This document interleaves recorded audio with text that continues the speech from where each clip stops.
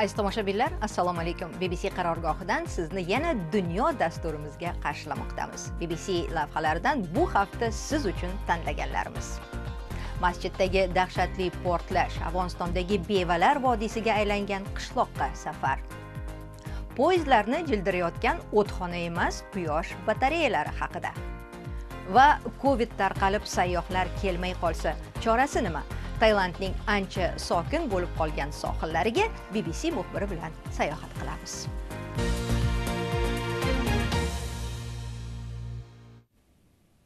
Bugungi ilk mavzumiz tom ma'noda ayollar tomonidan boshqariladigan mamlakat haqida. Bundan tashqari bu hukumatning bosh vaziri bo'lgan ayol jahondagi eng yosh bosh vazirdir. U hozir atigi 35 yoshda. O'tgan yili noyabr oyida bosh vazirlikka qasamyod keltirgan vaqti 34 yashar edi. So'z finlyandiya haqida ketmoqda. Sanna marin rahbarligi ostidagi koalitsion hukumat tarkibida 5 ta partiya bor. Hammasining raisi ayollar. Bbc bilan eksklyuziv suhbatda marin xonim finlyandiyaning gender teng huquqlilik siyosatining o'ziga xos qirralari haqida so'z yuritdi. Helsinkidagi mana bu majlislar saroyida dunyoning eng yosh bosh vaziri va faqat ayollar yetakchilik qiluvchi koalitsion hukumatini kutib olishga hozirlik. Ushbu ayollar jinslar tengligiga oid rejani muhokama qilishadi. Finlyandiyani juda uzoq vaqtdan beri koalitsion hukumat boshqaradi. Shu sabab biz turli partiya va mafkuralar orasida murosa yo'lini topishga urinamiz va bizning kuchli tomonimiz ham shu deb o'ylayman. Ba'zi odamlar ayol bo'lganimiz uchun biz farqli siyosiy kun tartibiga egamiz deb o'ylashadi. Yoda ayollar o'zaro til topishlari oson deyishadi. Ammo har doim ham unday emas. Shu sabab men asosiy e'tibor siyosat va hukumatga berilish tarafdoriman. Hukumat tenglik masalasida olqishlanadi lekin barcha rahbarlar ham buni e'tirof etishga shoshilayotgani yo'q.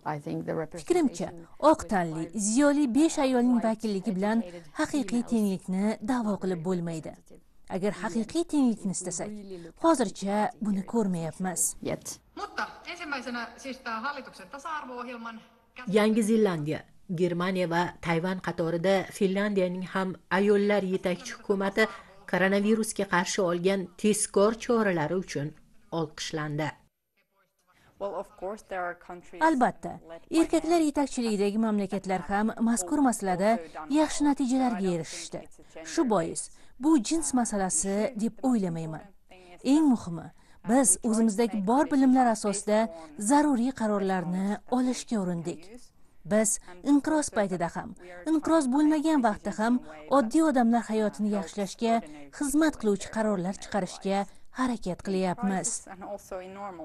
ammo pandemiya balandparvoz qarorlarni olishni yanada qiyinlashtirgani aniq. Kelgusi lavhamiz yana ayollar qismati haqida ammo mutlaqo o'zgacha taqdirlar. Afg'oniston hukumati toliblar bilan tinchlik muzokaralariga kirishganiga qaramay oxirgi vaqtlarda mamlakat bo'ylab zo'ravonlik ko'lami oshgan. Mamlakatning turli burchaklarida deyarli har kuni qonli hujumlar ro'y beradi toliblardan tashqari ishid qator qonli hujumlarga qo'l urgan. Mamlakat sharqidagi nangarxor viloyati aholisi bu kabi hujumlarning ko'pini ko'rgan. Bir qishloq esa batamom bevalar vodiysiga aylangan. Ali husayniy lavhasi bilan tanishing. Afg'onistonning mana bu burchagida qabriston sukunat hukmron. Na kuy bor va na kulgu. Dahshatli portlash 64 kishini qurbon qildi. Vodiyni g'am alam qa'riga otdi. Endi bu yer bevalar vodiysi deb ataladi. Butun boshli qabriston bir kunda to'ldi. Bevalardan biri to'rpakay erining qabrini har kuni ziyorat qiladi. U juma namoziga chiqqandi. Shunda bomba portladi. Bu vahshiylikni kim qilgan bo'lsa ham rad etmoqda. Hamma bolalarim ruhan ezilgan xasta. Bir yil o'tdi va biz hamon qayg'u ichida yashaymiz. Men o'sha jumani eslayman. Bugungi kabi bir yomon kun edi. Yuragimizdan alam va azobni chiqara olmadik.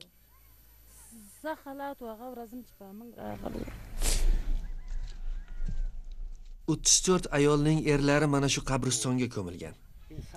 Akalari otalari va o'g'illari qatorida yotishibdi xudkush hujumchi masjid ichida juma namozida o'zini portlatib yuborgan. Bu hujumda omon qolgan erkaklar yana namozga kelishdi ammo qurollangan qo'riqchilar bilan. Hozirga qadar hech kim mas'uliyatni bo'yniga olgani yo'q ammo bu viloyat ishid qarorgohlaridan biri bo'lgan. Fojiadan keyin esa hukumat bir necha va'dalarni berdi lekin ular amalga oshmadi. Qishloqning bevalari yetimlari va yoshlari hamon dahshat ichida hamon shikasta bu aza emas balki ikki yosh aka ukaning to'yi bo'lishi kerak edi. Odatda musiqa va kulgu yangraydi. Odamlar raqs tushadi ammo bugun yuraklar alamga ko'zlar yoshga to'lgan. Kuyov o'z jigarlarini yo'qotdi bu portlashda. An'anaga ko'ra u akasining qallig'iga uylanmoqda. Maqsad uni himoya qilish. Hamma narsa o'zgarib ketdi. Ular ortiq ziyofatlarda jam bo'lishmaydi yolg'iz yashashadi. Hammaning yuragi vayron. Aslida mening emas akamning to'yi bo'lishi kerak edi. Ammo u yo'q endi. Endi mening to'yim bu. Hech kim xursand emas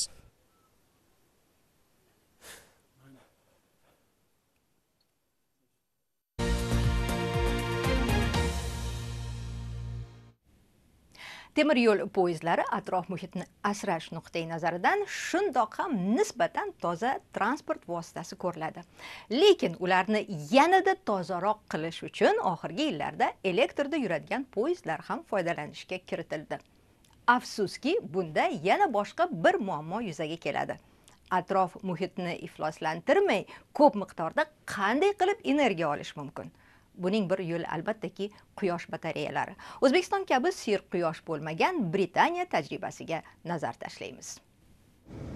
Temir yo'l poyezdlari atrof muhitga nisbatan kam zarar yetkazuvchi transport vositasidir. Ammo baribir juda ko'p miqdorda elektr ishlatishadi.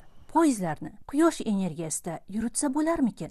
Britaniyaning o'zi uchun bu ixtiro potensiali juda katta britaniyadan tashqarida esa bu imkoniyatlar aqlni shoshiradigan darajada. Mana bu poyezdlar bir qarashda oddiy yo'lovchi poyezdlariga o'xshaydi. Ammo stansiya yaqinida noodatiy bir jarayon ketmoqda. Shundoqqina temir yo'l yaqinida joylashgan quyosh batareyalaridan oz bo'lsa ham energiya olinmoqda.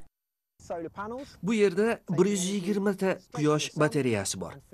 Quyoshdan energiya olib to'g'ridan to'g'ri poyezdlarga yetkazib berilmoqda bu shuni anglatadiki quyosh charaqlab turgan vaqtda temir yo'lning bu qismidan o'tuvchi har bir poyezd o'zi uchun kerakli energiyaning bir qismini ana shu batareyalardan oladi. Hozirda ko'plab temir yo'l shirkatlari dizelda yuruvchi poyezdlarni atrof muhit uchun zararsizroq bo'lgan elektrda yuruvchi poyezdlarga almashtirmoqdalar. Masalan shamol energiyasiga toza quvvat manbai deb qarasak atom energiyasi ham ro'yxatda ammo ayni holda quyosh nuri ham arzon energiya manbaiga aylanib bormoqda. Quyosh energiyasi batareyalarini ehtiyoj bor bo'lgan yerlarga joylashtirish juda oson. Quyosh batareyalari nechta poyezdni quvvatlantirishi mumkin? Bu yerda biz yangi texnologiyalar samarali ishlashi mumkinligini isbotlamoqchimiz. Maqsadimiz lozim energiyaning 10 foizini yetkazib berish. Ya'ni hozircha har 10 foizdan birini quyosh energiyasida harakatlantirish. Britaniyadan ko'ra serquyoshroq bo'lgan mamlakatlardachi. Hindistonda mingga yaqin temir yo'l stansiyalari tomida quyosh batareyalari bor. Hindiston temir yo'llari 2030 yilga borib karbon gazlardan xoli bo'lishni rejalagan avstraliyada mutlaq quyosh energiyasida yuruvchi poyezd yo'nalishi bor. Poyezd tomida o'rnatilgan quyosh batareyalari va stansiyalardagi panellardan quvvat oladi. Ammo bu poyezd hozircha faqat qisqa yo'nalishda safar qiladi.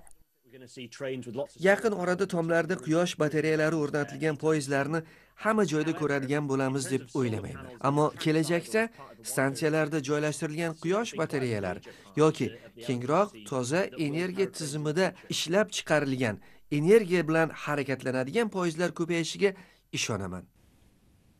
Tailand iqtisodi asosan turizmga tayanadi. O'tgan yili mamlakatga 40 million sayyoh kelgan turizm tufayli hisobsiz bizneslar yaratilgan ko'p odamlar ish bilan ta'minlangan.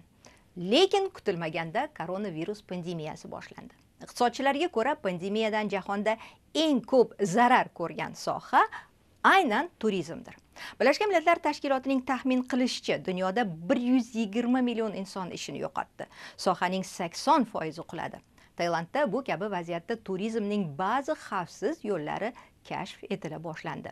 Bbc muxbiri jonatan hed ana shu yangi sayyohlik turlarini o'rgangan. Bu sohil ham bu yerdagi tungi bazmu jamshidlar ham dunyoga mashhur edi. Tailandni ko'rmoqchi bo'lgan har bir sayyoh hadrin sohilini albatta o'z manzili qilib tanlar edi. bu yerdagi hordiq shu darajada yovvoyi va olomonga to'la ediki u covid 19 dan omon qolmasligi aniq edi เหมือนกับมันก็คล้ายๆกับซีนามิแหละมาบุบเดียวเลย xuddi dengiz to'foni kelib hamma narsani vayron qilgandek ล้มล bo'ldi งไปหมด odamlar daromad manbaidan ayrildi เขาก็อยู่กันไม่ได้ไง atrofga qarang hamma yoq huvillab qolganอยู่รอดกัน Right now, it's full moon again, and until COVID 19 kept hozir to'lin oy deb nomlangan ko'ngilxushliklarning fursati. Oldin mana shu kunlarda qirg'oq sayyohlarga to'la. Musiqalar ovozi baland. Yuzlab tujjorlarning qo'li qo'liga tegmasdi. Ish ham ko'p daromad ham. Endi esa birortasi ham qolmadi. Bu go'zal orol yashovchilari sayyohlik yana avvalgi holiga qaytarmikin yoki boshqa yo'lini topsakmikin deb o'ylanib qolishgan dengiz ifloslanishi ancha kamaygan qirg'oq sayyohsiz qolganiga yarim yildan oshgan bo'lsa-da, ko'ngillilar yon atrofda hamon ko'p chiqindi topishmoqda. Bu ko'pangan tabiati o'zini o'zi qayta tiklab olishi uchun yaxshi imkoniyat. Hozir ham xorijiy va ham mahalliy ishbilarmonlar orol iqtisodiy kelajagini yashillashtirish ustida bosh qotirishmoqda. Maqsad sayyoh orolda ko'proq vaqt tursin, o'zini shu yerlikdek his qilsin. Orolning ayrim yashovchilari tabiatni asrashning yangi yondashuvi misoli sifatida mahalla tomorqasini ochishdi. Bu yerda yetishtirilgan sabzavot Covid inqirozi tufayli ishini yo'qotganlarga ko'mak sifatida tarqatiladi. Had Rin sohilida Mark Panya Vienandning oilasi 40 yildan ziyod o'z tijorati bilan shug'ullanadi. Endi Mark ham biznes kelajagini qayta o'ylab ko'radigan vaqt keldi deb aytadi. COVID is really a, like sort of a reset button right now. covid ko'p narsani o'zgartirish uchun bir sabab bo'ldi tungi to'linoy bazmlari shundoq ham urfdan qolayotgandi covid esa hammasini qayta o'ylab ko'rishga turtki berdi Boshqa dam olish joylari singari Mark ham uzoqroq vaqt qoladigan, shovqinsiz, osoyishta hordiqni ma'qul ko'radigan sayyohlarga ixtisoslashmoqchi.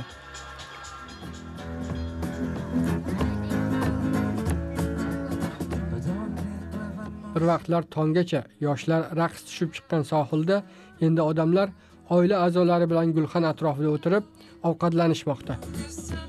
Ohista musiqa tinglamoqdalar. Bu xizmatdan daromad kam, ammo bu go'zal orolni kashf qilishga yo'l ochish bilan pul topishning yangi yo'lidir.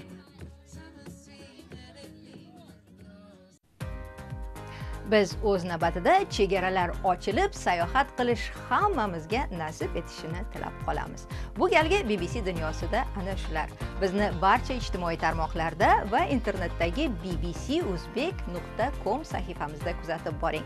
Bbc ijodiy guruhi nomidan men sizlar bilan kelgusi haftaga qadar xayrlashaman. Omon bo'linglar.